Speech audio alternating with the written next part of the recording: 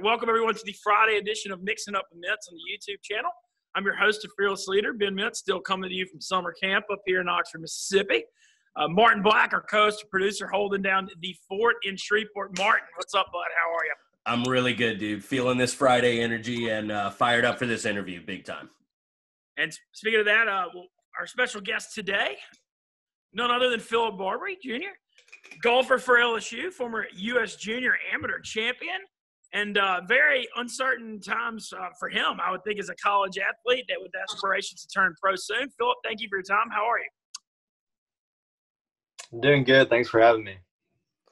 Yeah, well, uh, I think uh, we need to uh, set the tone by starting uh, kind of with the obvious. Uh, I know you're originally planning uh, to turn pro this summer after golf season, but you recently announced your plan to return to LSU after the NCAA Uh, said all spring athletes would get an extra year of eligibility. Uh, what was sort of the driving force behind that decision? Was it like the uncertainty in the sports calendar, or just desire to return to LSU? Like, what uh, what really was that? Yeah, like Ben said, it's been pretty uncertain for, I mean, ever since we quit, really. I mean, everything's been up in the air. Don't know what you're going to play in. Don't know what's going to happen. You know, I mean, even now, you still don't know really if, you know, if there's a breakout, if we're even going to have a, a, season this next year or anything. So, still up in the air. But, you know, the main thing was uh, Q school got canceled for us. And that's, that's usually in the fall. Right. And, you know, if everything was going normally, I would graduate from school. Um, I've already graduated, played NCAA's, and then I'm go to Q school in the fall and try to get on the Korn Ferry tour. But uh, since that's not happening, there's really nothing. Uh, there's really no no reason to come out. There's I'd yeah. be doing doing nothing for a full year. Um, and you know, on top of that, they're they're gonna come out with this new thing called PGA Tour University, and if you're in the top five seniors next year, you get to go straight to the Korn Ferry Tour, and then six through fifteen, just seniors, they get to pick between the Canadian Tour, the Latin American Tour, and the uh, PGA Tour China or whatever. Which those have you know straight, uh, I guess, a straight path to the Korn Ferry if you play well on those little tours. Okay, so you would just automatically get a card. Yeah, if you play well, I don't know exactly what the numbers are. If you play well on those tours, you go to the Korn Ferry. Um, but those so those were kind of the reasons why I decided to stay. Um, but I mean, I told my coach, you know, I think even if they had Q school, I don't know if I would come back, even with the extra year, you know. And so I, have been ready to get out for for a little bit and yeah. uh, get out there. So, you know, I mean, it's it's gonna have to delay a little bit, but that's fine. It's, it's there's probably more opportunities, you know, me staying in school right now than there would be if I if I came out. So that's you know that's fine with me. But you know I was looking forward to getting out and and trying to uh trying to get out there with my bud Sam and, and try to try to get on the on the tours. But it'll wait a little bit. That's it's all it's all gonna hopefully work out. Yeah. So uh, uh, speaking on that, uh, uh you, you said you're at uh, you're at uh, uh, Sam Burns' house in Ruston right now. Uh, has his experience on tour kind of helped you in your future transition to pro? Like, yeah, I mean, I think he's done. I mean, heck, he's played with Tiger. He's played well in some of these events. I think mm-hmm. I can. Just call him and look up, uh, you know, look to him for any advice in the future. Really, he's already done a lot of this stuff before. So, I mean, I think that's going to help me in the future when I get out of school. But yeah. I mean, also seeing how well he plays and and uh, I mean, I know every time we play, we're pretty neck and neck. So that just gives me a little confidence, you know, knowing that one day hopefully you know can can get out there together. So uh, yeah, no, it's been good. I mean, the past couple days we've been having some pretty good matches, so it's always fun time getting out there. Nice. And uh, uh, like Ben said, you are a, a former uh, U.S. Junior Amateur Champion. Uh, you've qualified for uh, several U.S. Amateurs, and uh, two years ago you qualified for uh, the U.S. Open at Shinnecock. Uh, why do you think you have so much success in USGA events? Man, I have no idea. uh, you know, those qualifiers, for some reason, I don't know if it's different mindset or something. I, I always play well in those qualifiers, U.S. Open, USAM, whatever. Uh-huh. For some reason, uh, it's kind of a joke with us now. It's every time I play tournament, my dad or or, or Roy or somebody are like, just play like this is a qualifier, right? go out there, make birdies, and just don't worry about the rest. Uh, but yeah, no, I, I don't know, but heck, that that U.S. Open, that was I mean that was definitely the hardest course ever played by far. Yeah. I, mean, I think I shot, think I shot eighty, eh, maybe around eighty both days, and I mean I didn't think I played that that bad. Uh, and that was at Shinnecock. The first day it was like crazy windy. Everybody was shooting a million. Yeah. And uh, man, if even if I go back to U.S. Open, yeah. uh, I hope I'm a little more uh, prepared because that was that was something else. Who were you paired with? I forgot. Um, I was paired with. I was actually paired with another amateur that year. Yeah. Uh, Will Grimmer, and then uh, a pro. Heck, I don't remember the other guy. It was it was a pro. It was a pro that was he was just kind of getting started, just out of school.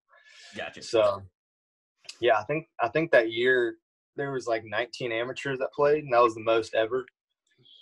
But uh, it's actually funny this year they're not having any qualifying for the U.S. Open. Yeah. So they said they're they're gonna uh, try to pick around the same amateurs that they would usually have in the tournament. Yeah, they're trying to uh, like uh, uh, simulate like a, a normal uh, play-in field right. without the qualifications. So, uh, have they communicated to you like uh, what the criteria for that is, or like your path to qualifying, or?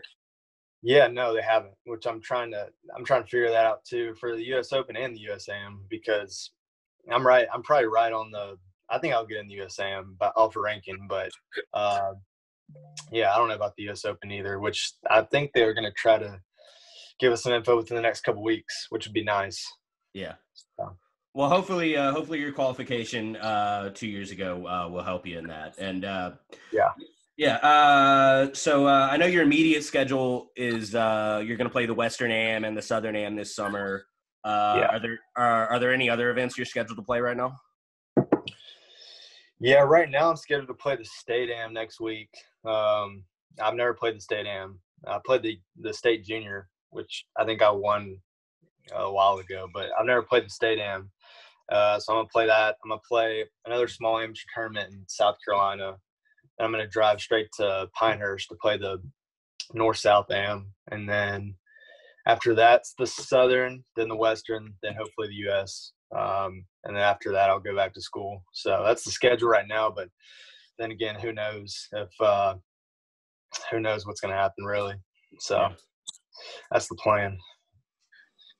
I'm curious, like how how these last few months affected you when you know obviously a ton. I mean, you mentioned LSU golf season getting postponed. Now you're going to go back another year. Just uh, you know, you what have you just been practicing a lot, or how have you been passing your time? Yeah, I've been. I mean, thankfully the court has been open, so I've been out there practicing every, you know, almost every day. Not every day, but uh, so I've been practicing a good bit. Uh, for the most part, I've been able to to keep you know working out, staying in shape. So that's that's been fine too. Um, and then I played a tournament in Dallas a couple weeks ago.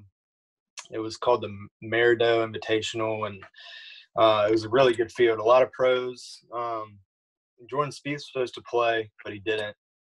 Um, there's a lot of good pros, a lot of good college players on a really tough course. So that that kind of helped, uh, I guess, keep me somewhat sharp. But uh, no, I mean, other than that, just been hanging out in Shreveport and haven't gone back to Baton Rouge except for last week when I had to move into my my house that I'm about to live in next year. So that's uh that's that's all I've been doing, just, just chilling, hanging out, and trying to find something to do other than play golf.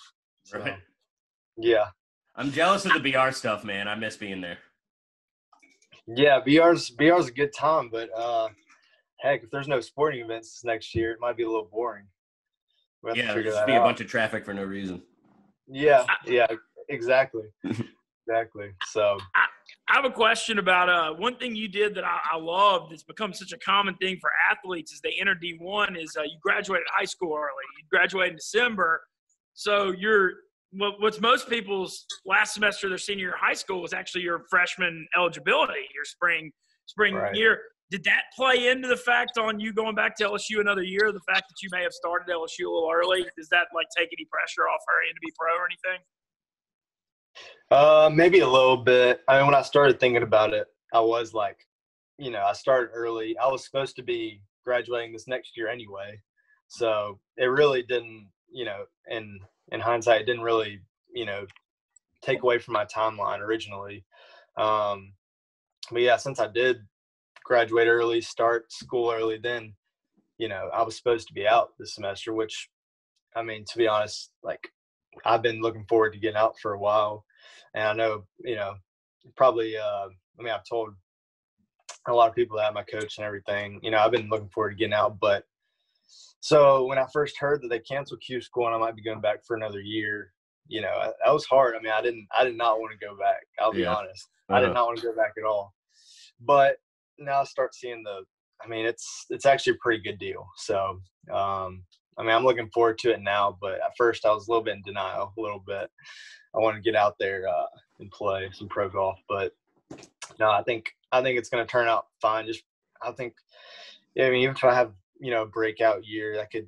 I mean, a lot of opportunities could come up. So, um, and then you know, rather than playing mini tour tournaments or going to Q school or some, or you know, I wouldn't now, but if I was, you know, going to Q school, um, but yeah, so hopefully it'll it'll be work out. But uh, yeah, at first I wasn't happy, wasn't happy about it.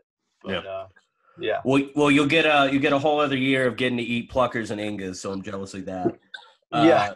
Uh, so, uh, uh, touching on just college golf in general, uh, do you have a theory why you know college golf hasn't gotten more like mainstream popularity? It's something I've like always like kind of thought about because there's a a lot of people that really like golf, and a lot of those people went to college and are super into their alma maters. So, it, it, do you have any thoughts on that, or is that just a weird thing that I've thought about?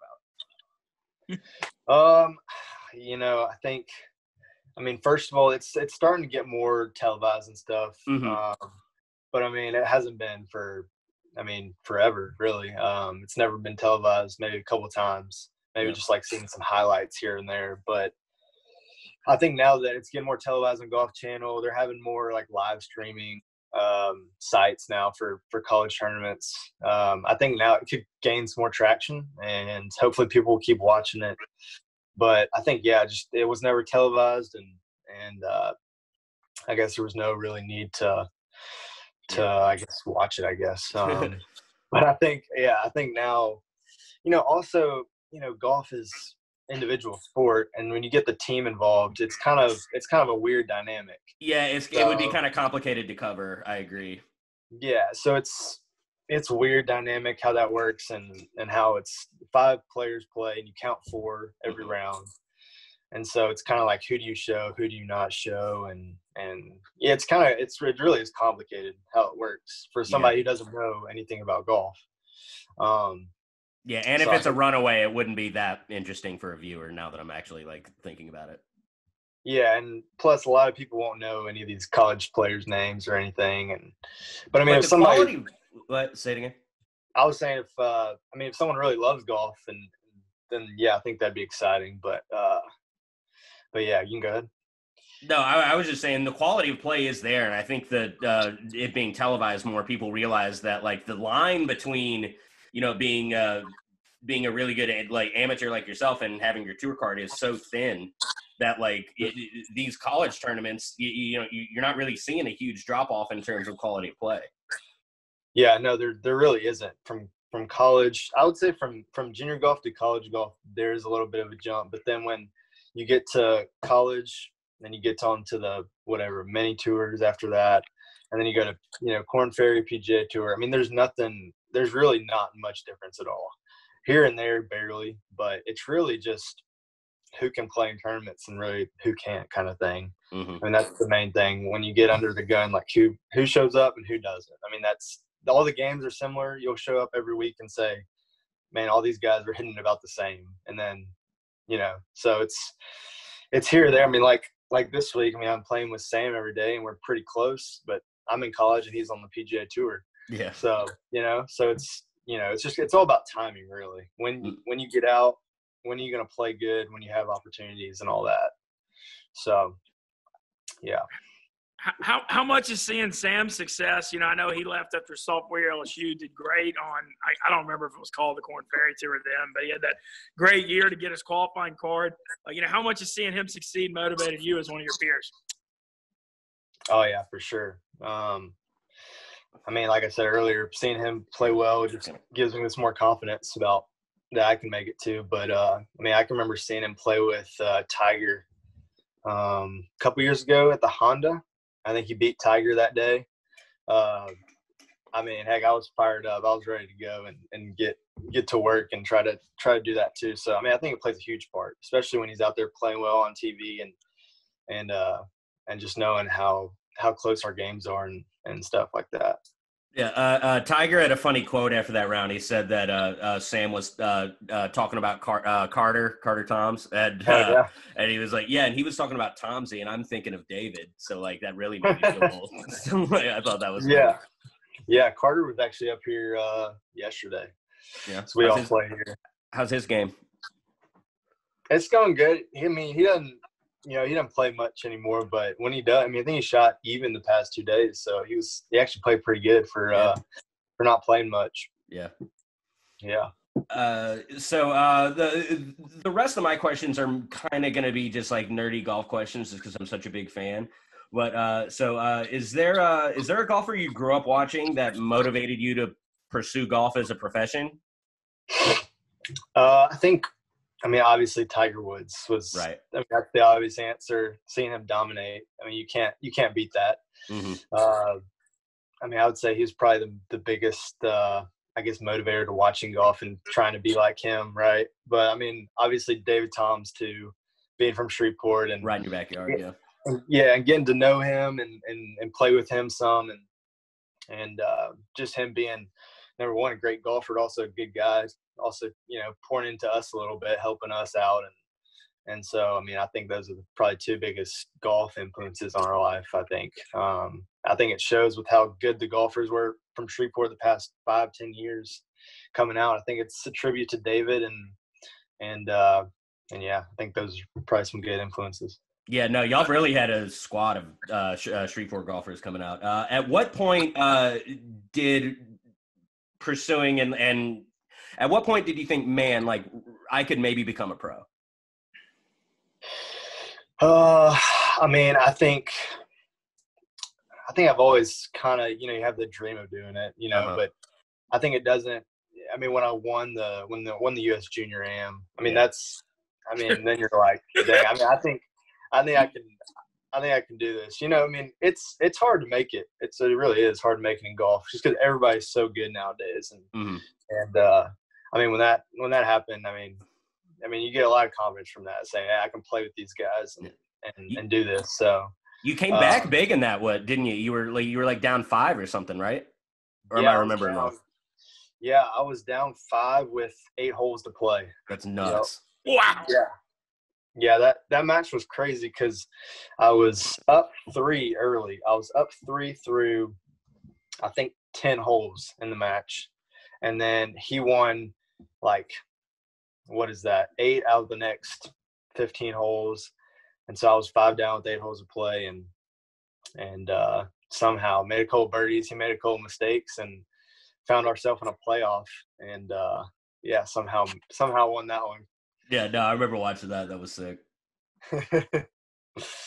Uh, somehow. I got I got a quick question. Just wondering, golf is such an individual sport, and you know, you think of the golfers that are icons uh, you know, you played, you know, you played high school golf, obviously, Byrd. College, you played at LSU. Like, what's that team aspect like after growing up playing individually? Do you, do you enjoy the team golf? Yeah, I think you know, high school is definitely a lot different from from college, just from the standpoint of you're you're still kind of basically just your own individual in, in high school and just still playing and you know, there's nothing, no out, really outside influences. But then when you get to college, then it's like you have a coach with you every day watching you practice and influencing what you do and what you don't do every day. And, and, you know, you have scheduled workouts and, um, I mean, I, I like the team. I'm, I'm pretty like individual person. I like to kind of just do my own thing and, and get what I need to be done and then, you know, then get out of there. But, um, I think being around a team I think they push you and make you better. I think that's that's the one benefit from it. But I also think that it could have its downfalls if uh, you're doing something that benefits the team but doesn't necessarily benefit you. So I think there's some balance there, and that's something I've kind of had to learn to communicate with coach. Like say, all right, I know the team needs to work on this, but like I need to do this instead. And so that's one thing uh, that's kind of a little bit difficult that you don't really realize at first. Um, but yeah, that's kind of the challenges I've had to deal with. Uh, so, uh, no, keep going, Ben. I just just one more question for me. Yeah, yeah, yeah. You fire. Uh, I always just hear about your short game and your putting, how they're just incredible for, uh, especially for your age. You know what what uh you know what what's influenced that? Man, I don't know. I think uh, I just I don't know. I just picked it up. You know, I think uh, I live right across the street from the the course at Southern Trace, so I just go over there really early in the mornings before school and just chip and putt uh, a lot. So I think that probably at an early age, just getting used to chipping and putting a whole bunch and and learning how to score, I think that probably had an influence on it. But um, yeah, I would say it's definitely the part of my game that's kind of held up the most over time and usually doesn't need as much work as anything else. So um, yeah, just chipping a bunch and putting a bunch early. I think that's the biggest. Uh, that was the biggest influence. I think. Uh, which do you work on more? Um, you know, nowadays I work a lot on uh, just a lot of like random putting, mm-hmm. kind of on the green, just putting just random putts and just basically trying to make a score and and so there's nothing really technical about putting that I do. Um, and then when it comes to hitting the ball, I usually work on uh, basically how close I hit the ball when I'm on the range. I like just focus on hitting my short irons close because if you hit it close, you're gonna make more birdies. Uh, that's one thing I do every day, and then another thing I do every day is I worked a lot on uh, trying to hit the ball further. So every day I'll get on a TrackMan or a distance distance measuring thing and and just see basically how far I can hit, how fast I can swing. I do that at least for five or ten minutes every day. Gotcha. Um, and I've seen some some pretty good gains on that. So I think that's the key. Basically, just nowadays hitting it far up far. Yeah, length is so crucial now with how far these guys are hitting it now. So what uh, uh yeah. what's your average distance these days? Um, I think uh, I mean if I just hit a normal tee shot, I think I can carry it. I'll carry it easy, 285, and then roll out. But uh, I mean, if I'm going at it, I can carry it 300 but I need to I need to be ripping it. Um, but uh, but yeah, nowadays with you got guys like Rory and Dustin out there, heck, you got to be able to hit it far, else you have no chance. So yeah, uh, Koepka. Yeah, Koepka. I mean, you see the guys who hit it farthest are the best players, so mm-hmm. you got to be able to. Yeah. Uh, something I wanted to make sure I asked you. Uh, what are uh, what are the three favorite courses you've played uh, in your just in your life, really? Um, I would say Pinehurst, number two. Um, I kind of grew up playing a lot of tournaments there, and, and mm-hmm. I played back at the USAM, and uh, it's just it's a really good place. Um, just the whole deal. Um, and then, um, heck, uh, I mean, I have to say Shinnecock too. I mean, I had the U.S. Open there. That was pretty cool. I mean, there's not many places uh, cooler than Shinnecock. And then, um, heck, I'm drawing a blank. I played I played Olympic Club in San Francisco. Oh yeah, that was pretty that was pretty sweet. Uh, I played pretty good there too. So I, I like the course. It's it's tricky, but uh, it's it's kind of a classic. Nice. But, yeah. yeah. no, uh, getting to play Shinnecock under U.S. Open conditions that had to just been sick. Uh, well, it, it depends yeah, on how you, it, depends it on how you look at it. yeah, yeah. It wasn't it wasn't sick because how hard it played, but right. Yeah. Uh, but yeah, no, it's it's a cool place. But yeah. uh, I like to play it. I like to play it under normal conditions. That'd be nice. Right. Uh, uh, kind of leads me into the next. Uh, what uh, what three courses do you want to play but haven't yet had the opportunity? Uh, obviously Augusta. Right. Um, I've heard about Pine Valley. That's all. I mean, they all talk about Pine Valley being really ni- really nice, and uh, um, maybe like Oakmont or something, something where they've had a U.S. Open. But uh, yeah, obviously Augusta, that's right at the top. I've been Yeah. there for the Masters practice round in like 2010.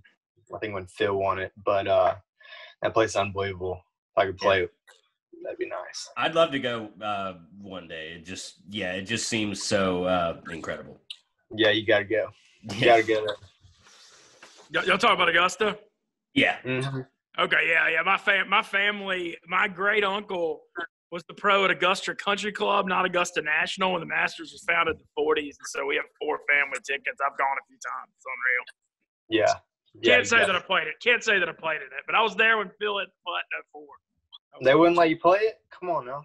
Nah, he, man, yeah, if they- yeah. 24 hours of golf to get through uh, 18 holes. Yeah. uh, uh, can't help but notice you didn't have any international courses on that list. Is there a reason for that? I've only uh, I've only been out of the country once, or actually Uh-huh. twice, and it's it was to Cabo. We have a college tournament there every year, and uh, so I went there. I've been there twice. That's the only time I've been outside the country. So, I mean, obviously St Andrews. You want to play St in Scotland, uh, but other than that, I'm not really uh, I'm not really educated on other courses. I don't really know anything about them. Yeah. So So, one uh, day, one day yeah. we'll get over to. yeah. So, uh, what's the hardest part of this like whole Corona like layoff been? Has it been like lack of routine, uh, not being in competition, or just like the daily mental challenges? Like, what uh, uh what do you have to say on that? yeah, really just not having any competition and trying to stay somewhat your game somewhat sharp.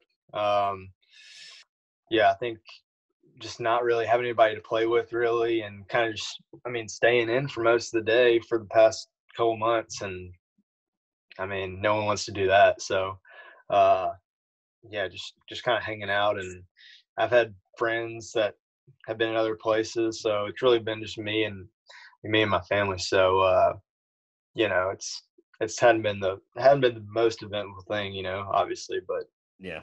uh, just trying to get through it and, and trying to stay sharp with my game. I think I just have to try to find ways to to try to stay sharp every day. I mean, it's it actually it has been hard, but uh, but I've actually somehow been able to been able to do it. So Yeah. With no dip. what's that? Uh, with no dip at all. Like yeah, no, I mean, I think when I left college, I, I was playing okay. I wasn't playing great, and I feel like I feel like I'm actually better now. Thank Oh, goodness. sweet. I think, yeah. So I don't know. I don't really know how that how that works. doesn't really make, it doesn't make much sense, but uh, I think also sometimes the the more I play, the more the more you get in your head, and the more you. Sometimes it's good for a little break. So Mhm.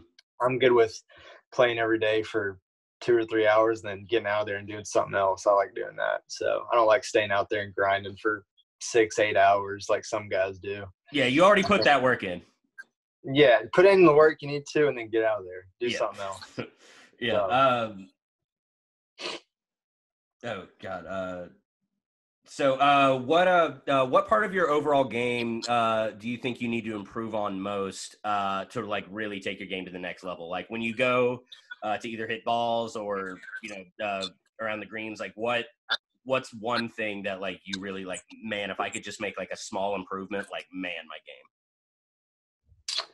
I think just the the things I've been trying to get better at, like the pros are so good at short irons, just hitting it close every time. I mean, they they hit them they hit them close with short irons, and they and they make those putts. Like you just got to do that. And uh, I mean, I've seen some improvement in that area, and and uh, maybe the past year. But uh, if I could get a shot or two um, better in that area, that's that's where you make all your money. You hit your irons close and you make those putts.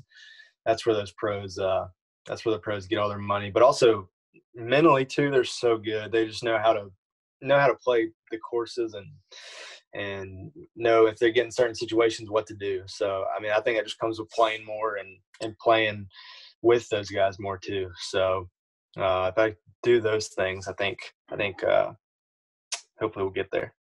Nice. I want to ask the you you brought up the mental part because that's what I'm obsessed with with golf. It's just I mean it's it's the most mental game there is. Yeah. How, how do you keep your composure in high pressure spots? And, you know, as you've gotten older, have you improved on that?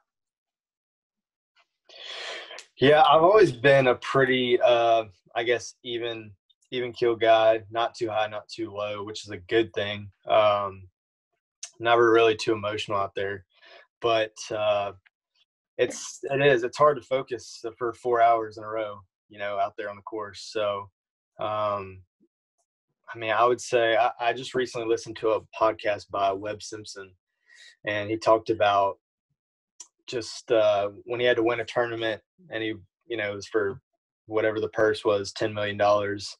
Uh, he had an easy putt, but he kept thinking about winning the tournament and, and and winning the money. But he was like, basically, told me told us that he learned that just focus on the task and not worry about anything else. Because basically, hitting this five footer that's left center is has nothing to do with ten million dollars. It's just an easy putt you do every day. So that's the main thing. Just looking at it from different perspective and just try to just keep it as simple as possible and not it's easier said than done, but uh but it's just something you gotta do. You gotta I mean it's so cliche, but they talk about like one shot at a time and and just kind of stay in the present, but you just have to do that or else, you know, it'll get to you and and uh, your mind will start wondering. That's for sure. Uh, what do you think of this? Ro- oh, keep going, Ben. No, no, I was just gonna say I've had similar problems that staying present. Like if I have like a big chip stack and a huge poker tournament, I'll be like, "Oh man, it's gonna be awesome! I'm gonna win this 200k." Yeah. But it's like it, it, he's right. You know, you just got to play hands in the same in the same vein. It's like hard to keep yourself mentally focused. Now that's why I asked you that question. Anyway. Yeah, it's it's so it's so easy to do. I mean, it's natural, right? You just you think about what's coming next, but uh, yeah, the more you more you stay present and think about the the shot at hand or the whatever you're doing, you know, right there, the more uh, the better off you're going to be for sure. So uh, I just I wanted to uh, touch on uh, kind of piggyback on that. You said you were listening uh, to this podcast. Uh, what do you think of the like rise in the last few years of just golf media in general? Because now it seems like there's just so many golf podcasts. Uh, there's so many golf like Twitter personalities now. do you think that's good for the game, or and just yeah? Do you have any thoughts on that? Yeah, I think I think it's definitely definitely good for the game. Basically, I mean, the more information that's out there about golf, the better. I think. I mean, this the game is so hard anyway. If if somebody gets some input here or there, that's going to help them out. I think it's gonna uh, it's definitely going to get people out there more playing playing more and uh, hopefully better golf. I think I think that's the good that's the good part about it for sure. Um, yeah. Plus, there's some. I mean, there's obviously some some good podcasts out there that are that are uh, fun and, and entertaining, um, which are also you know good to, to help grow the game and, and look at it a different different way. You listen to Fore Play ever? You know, I uh, I follow Riggs on uh, on Instagram. Yeah, and uh, I was I was actually looking at a couple videos this morning. I was I was cracking up watching him. Yeah, I he's, love those guys. He's funny. He's funny, dude. I'm actually, you know, he's been in, in Pinehurst this whole this whole uh-huh. quarantine. Yeah, and I'm about I'm about to go there, and uh, and so uh, I was gonna I was gonna DM him see if he'll see if he'll uh, we'll do a video together. That'd be fun. Oh hell oh, yeah! Man. Oh, that'd be great. Yeah, yeah. Uh, uh, they did that thing with Kiz uh, about two yeah. weeks ago, I think. Yeah, that was sick. Little match with Kiz. Yep. Yeah. like his personality was so great for that because he's just such a. I mean, I hate to use the word redneck, but that's kind of exactly what he is. So like, yeah, it was just no, he, for sure. For yeah, sure. That was that was good stuff. That yeah. was awesome. Uh, what something I just wanted to ask? Uh, what would be your ideal uh, foursome, and uh, where would you play? Uh, Anybody in play, not just pros. Um, I would say, I'd say me, um, Sam Burns, and let's see, Tiger, and um, dang, who else?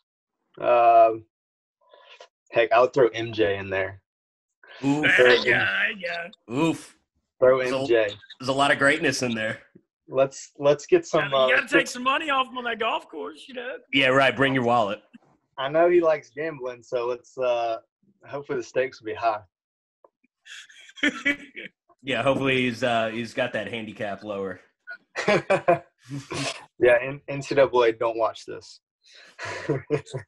Uh, that's uh, it, uh, I've covered a, like uh, most of like what I wanted to cover. This is just kind of random. Uh, are you excited about the PGA Tour 2K uh, video game coming out?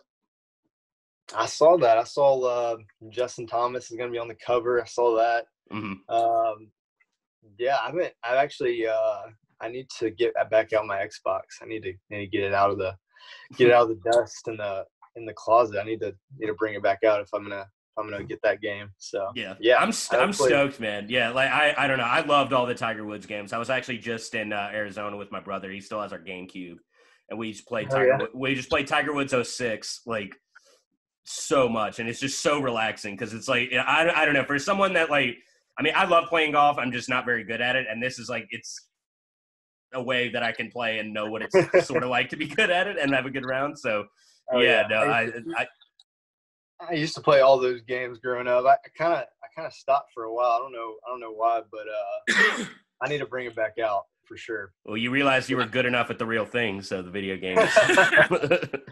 Yeah, I actually had to practice instead of uh, fake practice. yeah. I want to ask, uh, did you like the changes last year, the the PGA Tour, with them moving the PGA Championship to May and kind of changing some of the t- some of the schedule because it seems like it got great reviews. Uh, I guess so. You know, I think I think now somebody whoever's hot, you know, during that time has a better chance at winning more majors. I think if they're, you know, because they're four four and four months instead of four and six months or whatever.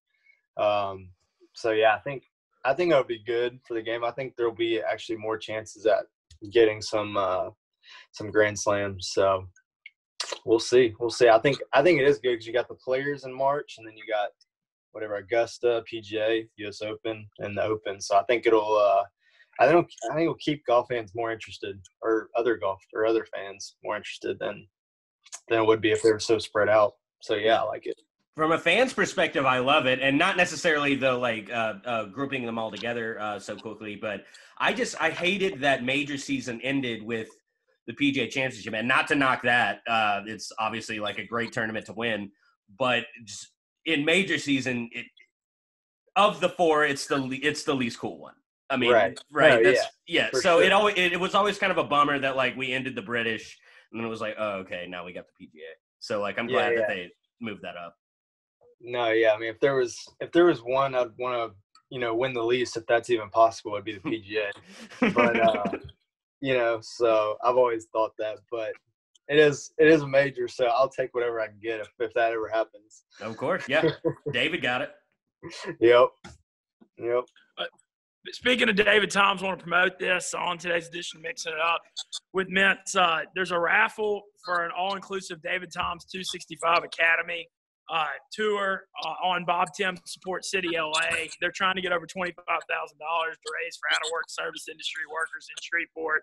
I want to make sure you bid on that. This is the final raffle for Bob Tim Support City. I want to make sure I mention that on here. Yeah, I'm in it. I'm in it. He's gonna have to deal with my dumbass if I win. So yeah. Uh, I okay. I've I've kind of covered just about everything uh, I wanted to. I thought I think this has been a great interview. Uh, ben, do you have any uh, any final thoughts? Man, I just want to say thanks to Philip for giving us uh, some some of his time. Um, I've been following Philip's career for. I mean, we've been talking about you on mixing up the events for three or four years because I'd have Shreveport Times sports editor Roy Lang on every week, and I know you know he's caddied for you in some of the amateur events around the country, and he always you know talked so highly of you and uh, how much he's enjoyed just being a small part of it.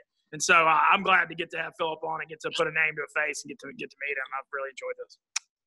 Yeah, I'm, I'm glad uh, Roy said some some good things. I've I've had to get on to him a couple of times, but uh, for the most part, he's been pretty good. So, but thanks thanks again for for having me. I enjoyed it. Thanks, man. Yeah, yeah. Uh, uh, Philip, I just want to say uh, uh, thank you so much again. I think this has been an awesome conversation and uh, uh, one that we needed to have. You know, just about golf in general and uh, quarantine and stuff. We've uh, we haven't been covering golf quite enough on this show, so uh, really appreciate it. And uh, uh, before you go, uh, I'm playing on Monday. Uh, can I get one swing thought? Hit long and straight. Look, it's Oh, simple. Listen, Got fairway- it. All right. fairway greens and make the putt. It's easy. It's simple game. All right. Okay, got it. All right. Uh, easy, easy scratch. Easy scratch on Monday. All right. Yeah, no Well, problem. Well, Phil, well, Philip, thank you, thank you again uh, for your time. Please tell Sam Burns we said hello as well. Uh, I'm good friends with Nolan Timon, one of his good friends, or Tim, one Yeah. of his good friends. too. So, yeah, I know. Certainly love supporting you and Sam and uh, all the Shreveport golfers. It's just been such a, it's a great, great lineage going back to David Toms, as you mentioned. I mean, it's just really incredible what the city of Shreveport has produced. Yeah, it is for sure. Uh, Nolan was up here earlier too. He was he was up here the past couple of days, so I'll tell him I'll tell him I talked to you for sure. But yeah, it's been it's been a good run for Shreveport for for these uh, past couple of years. Awesome, awesome. Well, thanks again for your time, Philip. Appreciate it, man. And uh, good. We'll certainly be following close this summer, and uh, can't wait to see you get out on uh, the tour in the next few years. Sounds like a plan. Enjoyed it.